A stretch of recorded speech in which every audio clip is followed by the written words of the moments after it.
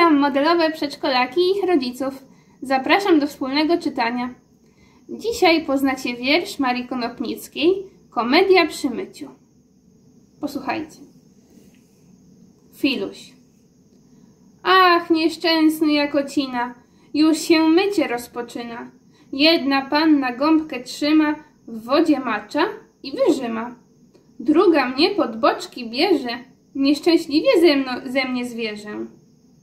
Żuczek. Ajajajajaj, gwałtu, rety. Tom się dostał w piękne ręce. Od tej rannej toalety pewno żyw się nie wykręcę. Jedna trzyma, druga myje, ajajaj, ledwo żyje. Zosia. A pfe, kotku, pfe, brudasku, masz futerko pełne piasku. Umyć cię też muszę z brudu.